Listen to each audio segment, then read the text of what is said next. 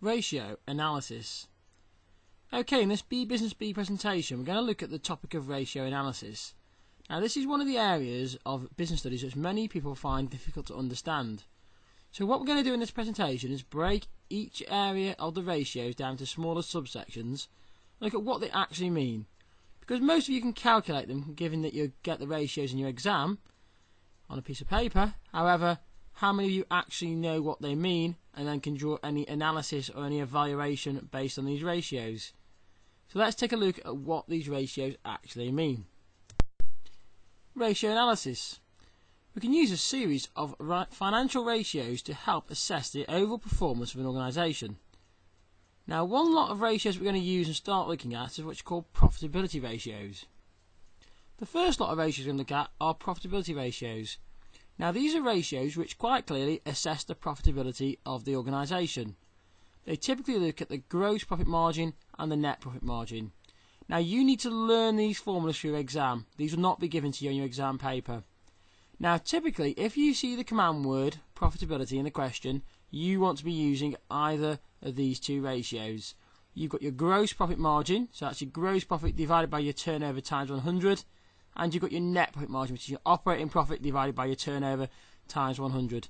Remember that your gross profit is basically showing you how much you make on each item you sell, and your net profit margin is showing your overall profit, sometimes called your operating profit. Another type of ratio that you may need to use are your shareholder ratios. Now, these are ratios that are used by shareholders to assess whether they should make an investment in an organisation. Typically, you're looking for the command word of shareholders or investors when you're deciding whether to use these ratios. And off your formula sheet, you should be picking ratios such as dividend per share and dividend yield. Now let's have a look at these in more detail. Let's have a look at the dividend per share.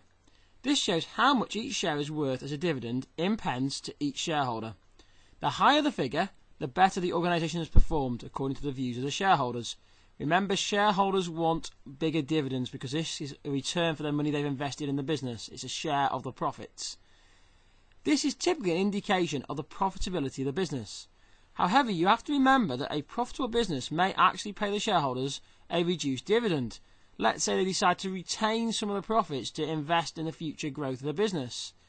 Then you have to balance this against the views of the shareholders. Some shareholders in the short term will not be happy about this. They expect to have large returns in the form of a dividend.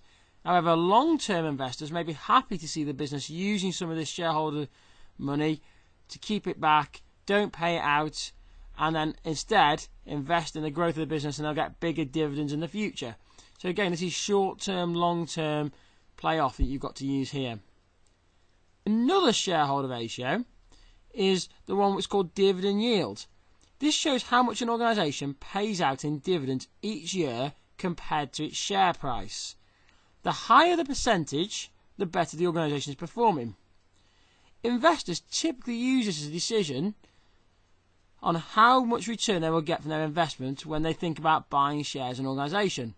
So naturally, you want a higher dividend yield. Bear in mind that if you've got a good dividend yield, shareholders are more likely to buy in your business. If shareholders are buying into your organisation, then they're giving you free money in that essence. This is capital that you can use to invest and grow your organisation. The alternative option to get this capital normally is to borrow the money. And if you were to go and borrow the money, then it normally comes at an expensive price tag where you have to pay interest back. So it's in your interest to try and get a higher dividend yield. Another form of ratios you may use are what's called liquidity ratios. Now, liquidity ratios help to assess the cash flow or the liquidity position of the organisation.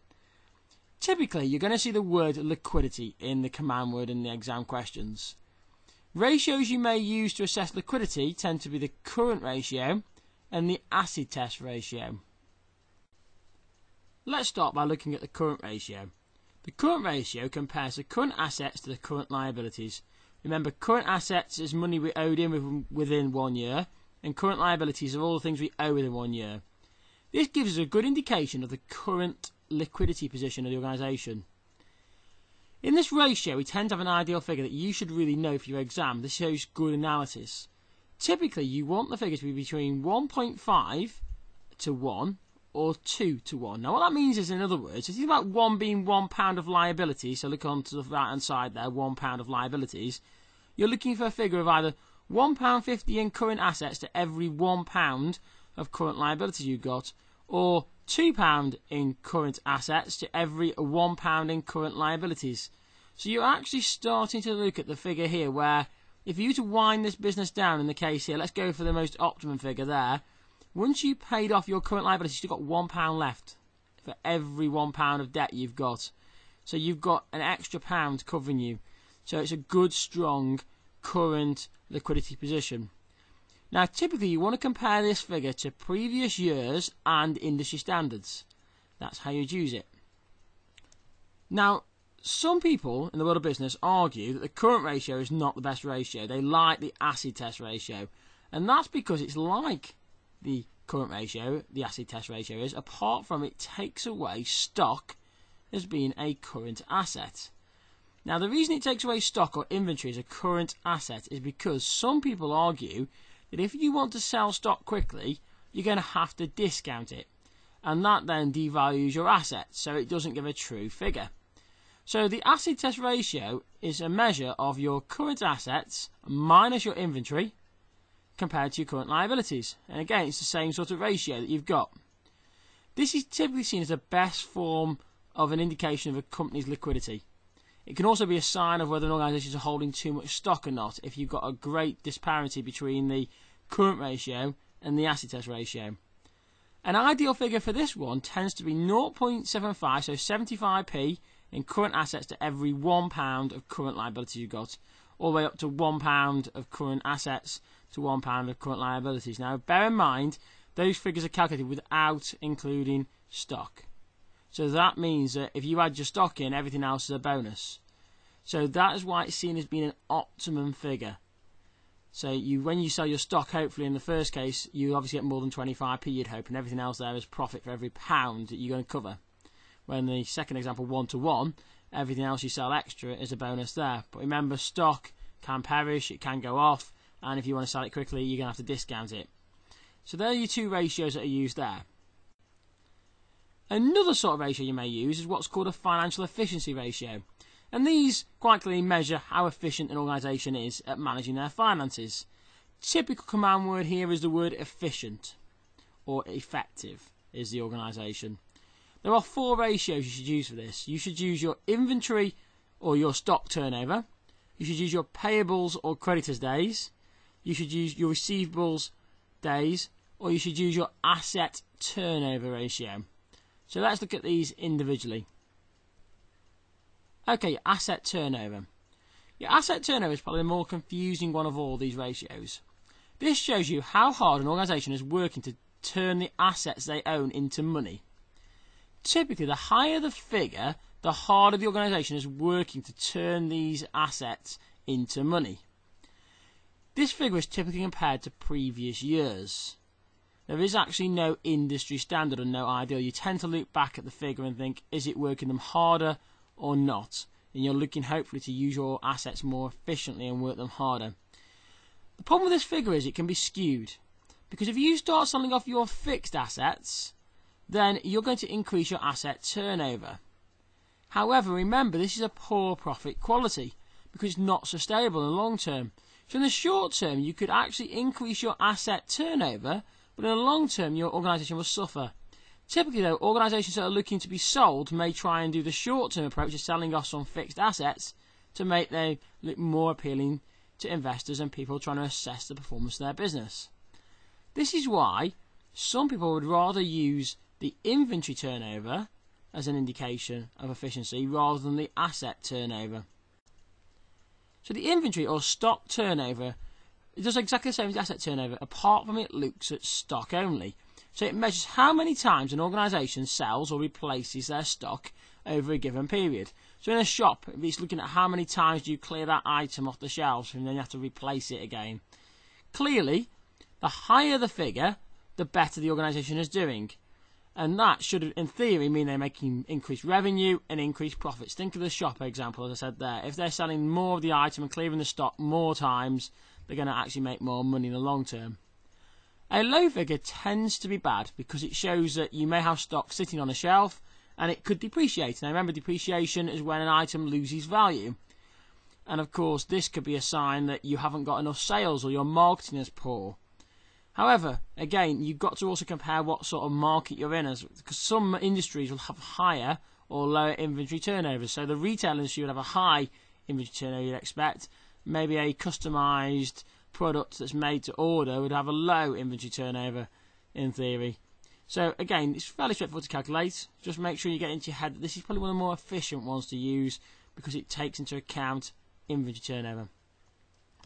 Okay, two of my favourite ones now, the ones I like to use. You've got this one called debtor days or receivable days as a new term. This shows how long an organisation is giving their customers to pay when they've been given credit. So remember, credit is when you give them time to pay. They get 30 days, 60 days, 90 days credit. The number of debtor days tends to vary according to the industry. So there is no industry standard really in theory. Typically, if you want to look at it, the 30 day rule is fairly common. However, in some industries, it's a lot higher than that. However, this, in, this figure should always be shorter than the organisation's creditor days. Now remember, they're the people who you have to pay money out to. So you want to be getting this money in before you pay other people. Now, if you want to get remember this, you think about this word of debtor means debt to you or debt owed to you. So this shows you the number of days it takes you to collect your money off people who owe you money. You want this figure to be as close to the figure you're giving them. If you give them 30 days, you want this figure to resemble 30 days. Let's say this figure actually resembles 60 days and you're giving them 30. This shows you're very poor at collecting your money. You're giving your customers 30 days longer than they're actually entitled to. And this could cause you a cash flow problem in the future. So that's poor financial efficiency. Now, of course, you've got the opposite side of this. You've got your payables or your creditors' days. Now, these are people who you have to pay. And this is how long it takes your organisation to pay your suppliers when they have given you credit. The number of days again that you get varies according to the industry and how you negotiate them. Typically, though, you want these to be greater than your debtor days, like I said before. So, if you are giving your customers 30 days to pay you, you ideally want to have 60 days in your suppliers to pay them. Now, in an ideal world, what you really want to do here is you want this figure down here to resemble that you're taking a little bit longer. Remember that it's about making sure your cash flow is positive. If that money is in your bank account, you are getting interest on that. You are sl making slight amounts of money on holding that money for a little bit longer. So, for example, if you've got 90 days credit off your suppliers, so you need to pay them in 90 days, if this figure when you calculate it here was showing that you were actually paying them in 110 days, that could be really good because it shows you're holding on for a little bit longer, as long as you're not annoying your suppliers, but they're not quite happy with that idea. They're getting paid. You're holding on to that for just a slight little bit longer, and you're going to make 20 days in that case more interest payments. Remember, creditor means people who are giving you credit, so people who you actually owe money to. One of the more obvious ratios is what's called a gearing ratio. Now, in the world of business, gearing is basically the fancy term for debt. So, this measures how much your organisation is actually funded by borrowed money. And the command word tends to be geared. The ratio you're going to use is called the gearing ratio, as you see below. Now, this ratio shows how much of an organisation is made up of borrowed money. Typically, you're looking for a figure between 25 and 50% is seen as an ideal figure. Seems strange that some debt is seen as positive. This is because some people will view debt as being a sign of investment in an organisation. It's a sign that the organisation is continually trying to grow itself. However, once more than 50% of the money in the organisation is borrowed money, that's when it's deemed to be a problem. Others would argue that that 25 figure is probably about the realistic figure because 50 can cause a problem if interest rates were to rise. So if you're highly geared, you're dependent on interest rates being low. So you've got your external factors to consider. However, if you're not geared at all, then it could be a sign that your business is stagnant, standing still. And then, of course, if you stand still, your competitors may be growing, and at the same time, you're actually getting smaller and starting to retrench and shrink in the market size. And last but not least, you've got this ratio here that I've left at the end, which is called the return on capital employed, or the ROCE. This ratio is a strange one. You can use it anywhere you want. Some people argue it's a profitability ratio, some argue it's a shareholder ratio. We'll have a look at why there's different arguments in a minute for this. This ratio shows the return you get on the money you've invested in the business. Now, as you probably can think straight away, owners like to use it, or shareholders do, and it shows about profitability because you get better returns when you make more profit. This ratio, like I say, can be used anywhere you want. It depends on who wants to draw conclusions from it. So in the exam, typically you can throw it in where you like, as long as you draw valid conclusions that answer the question set. Everybody typically agrees the higher the percentage, the better the organisation is performing. It makes it a more attractive investment. Now, what you need to compare with this to is normally the Bank of England interest rate. You're looking for what the Bank of England is setting its base rate and what you can get as a best savings rate in the bank. So, for example, if you could put your money into the bank now and get 3% on a savings account, but you can get an ROC and a business of 20%, well, you're going to choose a business straight away. The business is more risky, but the fact that you're getting 20% compared to 3 makes it worth taking that risk. However, if the interest rate was actually 3 but the return on the investment was only 5, then you may think about putting your money in the bank. The bank is much safer, and remember, the ROC is based on the business actually achieving those figures. It's what they got in the past. Will they achieve it in the future? Well, again, you've got to consider market factors such as like competition or what are the external pressures on the organisation. And these are all factors you've got to consider when thinking about whether the ROC will be maintained. Remember, most of these ratios are calculated on past data. So, will the business achieve these in the future? That's what you're looking for. And that's what you've got to take into account when you're making some decisions. Okay, that's it. Hopefully, now you've got a better understanding of each of the financial ratios and you're able to provide basically the correct ratios. They're going to help you to tackle the question that's set in the exam. And you can make some form of decision making as a result of this. What I've tried to do is not get you to calculate with the ratios because it's fairly straightforward. You will have practiced that a number of times and you're probably well aware of that. If you need more practice on this, have a look on my website. I've got some information on there for you. No problems with that. Finally, don't forget to follow me on Twitter at beebusinessbee and check out my YouTube channel. Click that subscribe button. Uh, remember, you can tweet me any areas of business in the future you want me to cover. I've got no problems with that. And check out my website, beebusinessbee.co.uk.